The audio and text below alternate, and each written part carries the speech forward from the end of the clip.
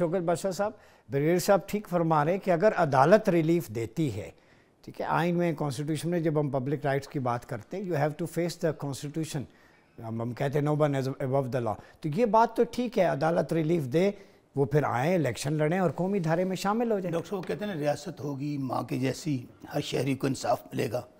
Brigadier साहब का मुझे बड़ा एहतराम है लेकिन उनकी किसी बात से मैं इतफाक़ नहीं करता। मैं ये तो नहीं कह सकता कि वो गलत बयानी कर रहे हैं। हर चीज़ का उनको पता भी है उनके इलम भी, भी है लेकिन हम सच बोलने से कतराते हैं। कहाँ पे इंसाफ है कहाँ पे आइन है कहाँ पे कानून है? पाकिस्तान तो इस वक्त बनाना रिपब्लिक से भी अगले वाली स्टेट है। हमें सच रोटी, रोटी सोलह की सुनिए ना सुनिए हमें सच बोलना चाहिए हमें सच बोलना चाहिए। शौकत बसरा जब फौज का ट्रक गुजरता था मैं यूँ करता था। मैं कहता था कि दे आर माई प्राइड और डॉक्टर साहब बड़ी माजरत के साथ मैं ये कहूँगा कि आईने पाकिस्तान। एक एक आपके बहुत कहा जाता रहा, यहाँ के आमरों ने कहा कि हमारे पाँव पे है, इसकी क्या हैसियत है? ये कागज़ का एक टुकड़ा है। मुझे बताइए, छिहत्तर साल में क्या मुझे ब्रिगेडियर साहब हल्फन ये बात बता सकते हैं कि यहाँ पर हर वज़ीर अजम को यहाँ पर कत्ल कर दिया गया? एक एक वजी कितने कितने वज़ीर अजम बदल गए? हमें सिर्फ़ अगर डॉक्टर डॉक्टर साहब पाकिस्तान में अब पाकिस्तान को नेशन बनाना चाहते हैं अब पाकिस्तान को कौम बनाना चाहते हैं, जब तक यहाँ पे इंसाफ नहीं होगा जब तक यहाँ हम कहते हैं ना, वो हज़रत अली का कौल है, कुफर की हुकूमत तो कायम रह सकती है, जुल्म और नाइंसाफ़ी की हुकूमत कायम नहीं रह सकती। बदकिस्मती से ये माशरा ताकतवर का माशरा है। ये पैसे वाले का माशरा है। जो जितना बड़ा ताकतवर है, जो जितना बड़ा अहदे वाला है, पाकिस्तान में उसके लिए ना कोई आइन है, ना कानून है। हम बातें बड़ी करते हैं लफाजी के साथ। आप जी वो, मैं फिर कह रहा हूँ, हमारा फ़ख्र है, हमारे शोदा। हमारे कल के लिए हमारी सलामती के लिए वो कुर्बानियाँ देते हैं। लेकिन वो तो उन्होंने अपने घर में जो आग लगी थी जो हमला हुआ था ये तो जस्टिफाइड है कि जब जी एच क्यू पे कोर कमांडर हाउस पे जो कुछ होगा शोदा के मुजस्मे गिनेंगे तो अपने फौजियों के मोराल के लिए तो उन्हें करना पड़ेगा। ये तो हक उनसे नहीं छीन सकते। घर हम क्या कहते हैं? जिसने किया उसको सजाएँ दे। आज हम क्यों कह रहे हैं कि 9 मई बहाना था तहरीक इंसाफ और इमरान खान निशाना था? हम डे वन से कह रहे हैं। नहीं है मैं बताता हूँ डे वन से हम क्या कह रहे हैं? कि आप जुडिशियल कमीशन बनाएँ वो तो कह रहे हैं कमीशन डीजीआईएसपीआर उस पे बनता है जिसका ओवरवेलमिंग एविडेंस ना हो। अच्छा, टीवी में सब कुछ दिखाया है। अच्छा टीवी पे दिखा दिया। ऑडियो वीडियो आपके रहनुमाओं की चले मैं आपकी बात को आगे बढ़ा लेता हूँ। हमें बताया गया डॉक्टर साहब 120 लोग मौजूद हैं। यही कहा गया कि जिन लोगों ने जीएचक्यू पे या जिना हाउस पे या कोर कमांडर हाउस पे या शोधा की तोहिन की 120 लोग बताए अच्छा ये एहतजाज किस तरह का पब्लिक राइट्स में तो नहीं मैं कहता डॉक्टर साहब गलत हुआ। नहीं करना चाहिए था। लेकिन क्या हुआ?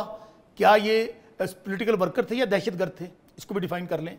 दहशतगर्द तो यहाँ पे खुले आप फिर रहे हैं। तो आपने आज तक कुछ नहीं कहा। और मैं ये मिसालें नहीं देना चाहता। मैं सिर्फ़ एक बात कहना चाहता हूँ कि 120 लोग बताए गए फिर क्या हुआ? शौकत बसरा आपके सामने बैठे हैं। मैं 9 मई को अपने हारूनाबाद जिला भावलनगर में मौजूद था। आज 30 एफआईआर मेरे ऊपर हैं। आज हर वो आदमी जिसका तलब तहरीक इंसाफ से था उसको एफआईआर में बुक कर दिया गया। उसके लिए जुर्म था तहरीक इंसाफ का नाम लेना इमरान खान का निकलना। ये क्या था? माए बहनें बेटियाँ सबकी साझी होती हैं। क्यों आपने एक एक औरत पे पचास पचास इसी, इसी, इसी पॉइंट को so, मैं ये कहता हूँ मैं फिक्रा एंड करके। ब्रिगेडियर साहब ये कहूँगा खुदारा। ब्रिगेडियर साहब अल्लाह का वास्ता है। ये पाकिस्तान आपने कहा ना पाकिस्तान है तो हम सब हैं। ये इलेक्शन मैं मैं डायरेक्ट विक्टिम लॉ होना चाहिए मैं डायरेक्ट विक्टिम हूँ। ये इलेक्शन किसने चुराया है? ये यही ओपन बात कर लेते वो कुछ कहना चाह रहे हैं। ब्रिगेडियर साहब आप कुछ कहना चाहेंगे? रिपोर्टल देना चाहेंगे मेरा जो बातें कर रहे हैं देखें बात ये करें कि एक नैरेटिव बिल्ड करें फौज और अवाम में नफरत की it should not be tolerated ये इस वक्त इंडिया में आप देखें कि कैसे दंगे ढोल बजा रहे हैं। मैं इंडिया चैनल में चाहता हूँ मैंने जाना छोड़ दिया। आई नो वर्ड जिस तरीके से वो शोर मचा रहे हैं। और ये जो नैरेटिव बिल्ड कर दिया मीर जाफ़र मीर सादिक जनरल बाजवा जनरल फैज जी जी। फौज के खिलाफ फिर आपने नौ मई जो कर दिया आपके पानी ने एक दफ़ा भी उसको रिग्रेट किया। अगर उसी वक्त कह देते जी कि मैं अपनी पार्टी के बिहाफ पे मैं I apologise from the ministry की माफ़ी डॉक्टर? किस चीज़ की माफ़ी? कोर कमांडर के घर पे गए। क्यों आपने तो करें उनके खिलाफ कार्रवाई। करें उनके खिलाफ कार्रवाई। आप निशाने हैदर के जाके उनके तो करें ना ब्रिगेडियर साहब उनके खिलाफ कार्रवाई। कौन रोक रहा है?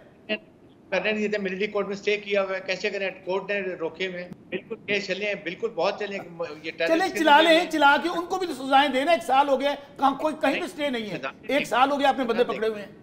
लेकिन सजा नहीं मिलेगी मैं बात ये कर रहा हूँ इंसाफ के तकाजे सारे पूरे किए जाएँगे। उनके डिफेंस के लॉयर होंगे हाई कोर्ट की उनके रेमेडी है रेडी सिर्फ़ एक्सपीरियंट होता है ये जो दस दस साल केस चलते हैं उसका पर्पज खत्म हो जाता है। इसीलिए आप देखें ये कश्मीर में जो हुआ है अगर उस वक्त कुछ को सजा मिली ना करते।